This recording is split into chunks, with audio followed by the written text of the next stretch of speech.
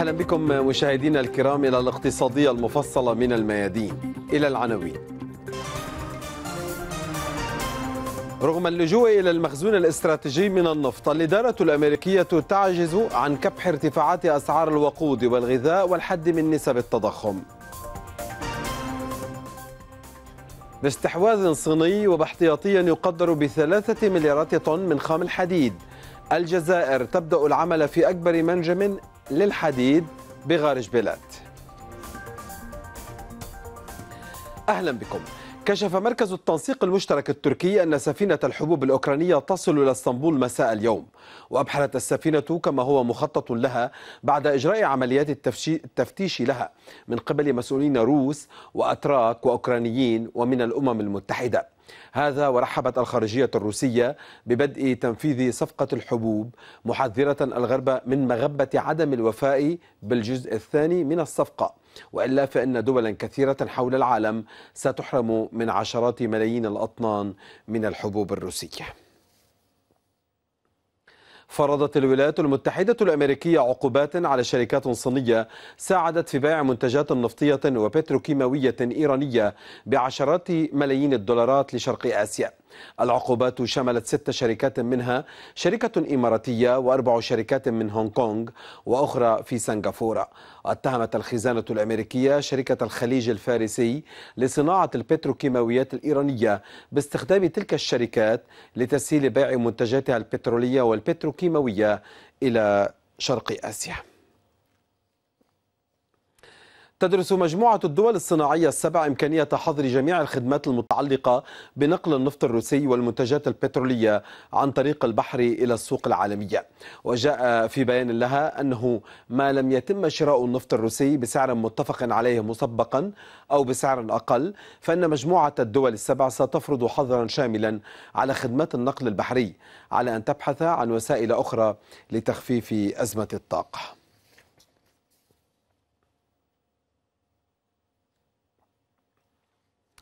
هبط مخزون النفط الخام في الاحتياطي الاستراتيجي للولايات المتحدة إلى أدنى مستوى له منذ 37 عاما.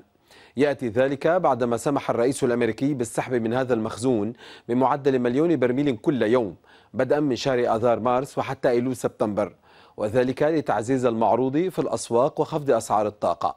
فهل تحقق الهدف فهل تحقق الهدف من هذه الخطوة؟ الإجابة مع أليسار كرام. Today, I'm authorizing the release of 1 million barrels per day عندما قرر الرئيس الأمريكي اللجوء إلى الاحتياطي الاستراتيجي من النفط كانت الأسعار تسجل ارتفاعات متتالية والأنشطة الاقتصادية شبه معطلة بسبب ارتفاع تكاليف الطاقة. أراد بايدن مواجهة الضغوط الاقتصادية من خلال زيادة كميات النفط في الأسواق المحلية لأن وفرة المعروض تخفض الأسعار وبالتالي تخفض تكاليف الإنتاج والنقل وتعيد النشاط إلى الاقتصاد الذي تعطل مره مرتين خلال جائحة كورونا وبعيد العملية العسكرية الروسية في أوكرانيا. اليوم وبعد مرور خمسة أشهر على قرار بايدن تناقص حجم المخزون الاستراتيجي من الخام إلى 470 مليون برميل فقط من دون أي تحسن في المؤشرات الاقتصادية. فمعدل التضخم السنوي في الولايات المتحدة ما زال عند أعلى مستوى له في 40 عاما عند أكثر من 9% ويرتفع بوتيرة سريعة تقارب الواحد في المئة كل شهر. حتى ارتفعت الأسعار الإجمالية التي يسددها المستهلكون لمجموعة متنوعة من السلع واحدا وثلاثة أعشار في المئة في شهر واحد فقط. وبرغم زيادة المعروض النفطي قفزت أسعار البنزين في السوق الأمريكية بنحو 60% منذ مطلع هذا العام وأسعار الكهرباء بنحو 13.5% وأمام هذا الواقع يتساءل كثيرون عن الأمد الزمني اللازم لتأتي خطوة بايدن بنتائج إيجابية على اقتصاد بلادهم ولا سيما أن 41% من الأمريكيين يحملونه مسؤولية ارتفاع أسعار الطاقة. فتحت مؤشرات الأسهم الأمريكية منخفضة بسبب المخاوف من تصاعد التوتر بين الولايات المتحدة والصين على خلفية الزيارة المرتقبة لرئيسة مجلس النواب الأمريكي نانسي بيلوسي لتايوان. وتراجع المؤشر داو جونز الصناعي 107 نقاط فيما تراجع المؤشر ستاندر أند بورز 514 نقطة.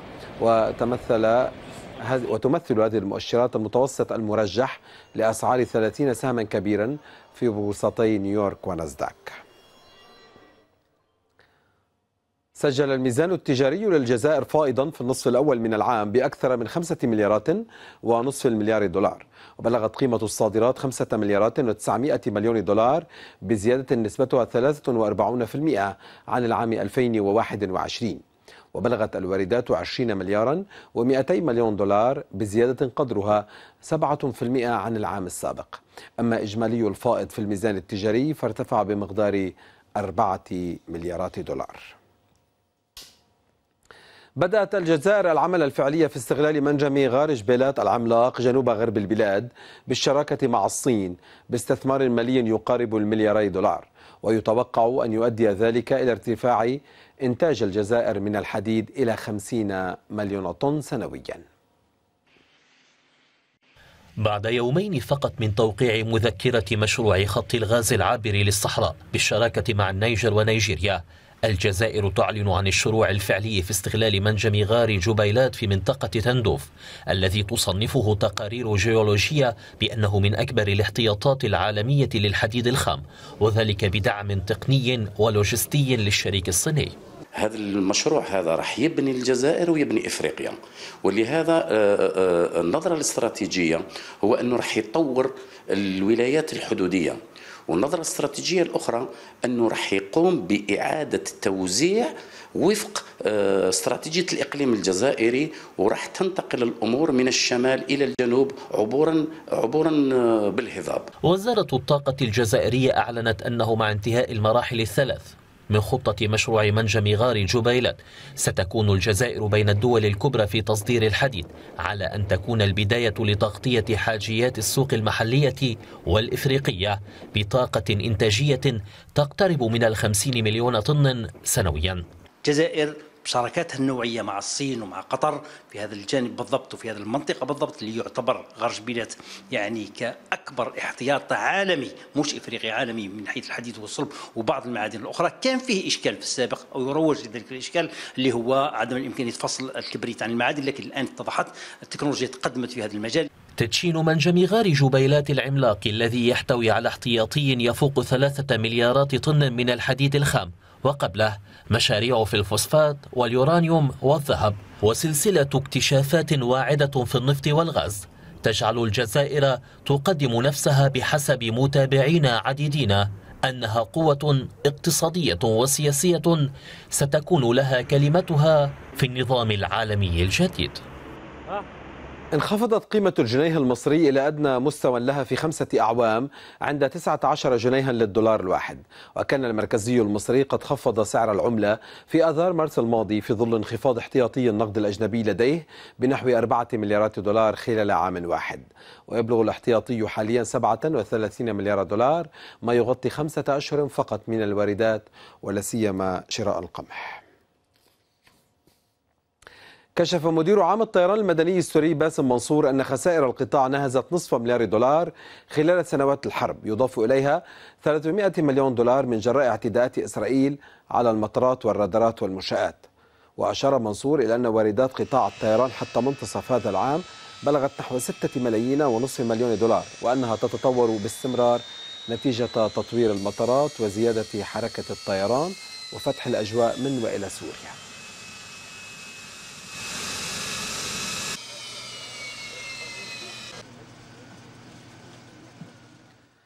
تفتقد الشركات الصناعية في ألمانيا إلى المواد الأساسية اللازمة لاستمرار عملها وفق ما أظهرت بيانات معهد إيفو للبحوث الاقتصادية.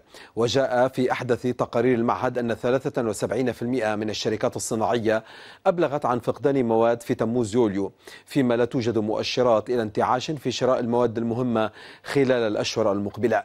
ونبه المعهد إلى أن الوضع ما زال حرجا في القطاعات الأساسية للصناعات الألمانية كالكهرباء والسيارات. السيارات والإلكترونيات. رجحت وكالة بلومبرغ أن استمر ارتفاع التضخم في تركيا ليصل إلى 80% في شهر تموز يوليو. بلومبرغ انتقدت امتناع البنك المركزي التركي عن اتخاذ أي إجراء من شأنه السيطرة على الأسعار كأن يشدد مثلا أسعار الفائدة للتعامل مع التضخم المتزايد. وأرجعت السبب إلى دعوة القيادة السياسية إلى خفض الفائدة بشكل أكبر. أعلن البنك المركزي الأسترالي زيادة في سعر الفائدة الرسمي أسوة بالبنوك المركزية الغريب الغربية ولا سيما في الولايات المتحدة والاتحاد الأوروبي. وهذه هي رابع زيادة لسعر الفائدة الرسمي في أستراليا ما دفع مصرف جولدمان ساكس إلى التحذير من احتمال حدوث ركود نسبته 25% في أستراليا خلال الأشهر المقبلة. ارتفعت أسعار الكهرباء في طوكيو إلى أعلى مستوى خلال عام ونصف العام بعدما أدى ارتفاع درجات الحرارة إلى زيادة استهلاك الكهرباء للتبريد. وحذرت شركة طوكيو إلكتريك باور من انخفاض احتياطي الطاقة في المدينة إلى 3% مساء وهو المستوى الأدنى لضمان استقرار الشبكة. وأوضحت الشركة أن نقص الإمدادات بموارد الطاقة في الأسواق الدولية بموازاة زيادة الاستهلاك المحلي ينذر بزيادة فواتير الكهرباء للمنازل والشركات. بعد 46 عاما من عملها أغلقت بريطانيا إحدى محطاتها الكهروذرية للأبد بالرغم من الارتفاع الحاد في تكلفة الكهرباء في البلاد. وفي ظل انخفاض في إمدادات الغاز الروسي إلى أوروبا. وجاء إغلاق هذا المفاعل في إحدى محطات الطاقة النووية الست المتبقية في المملكة المتحدة بعد خمسة عقود من توصيله لأول مرة بشبكة الطاقة الكهربائية. ويشار إلى أن المحطة كانت تنتج 3% من الكهرباء المستهلكة وبلغت طاقتها الإنتاجية 1 ميجاوات بفاصل واحد. هذا كل ما لدينا من أخبار اقتصادية. نشكر لكم حسن المتابعة. الميادين دوت نت للمزيد. إلى اللقاء.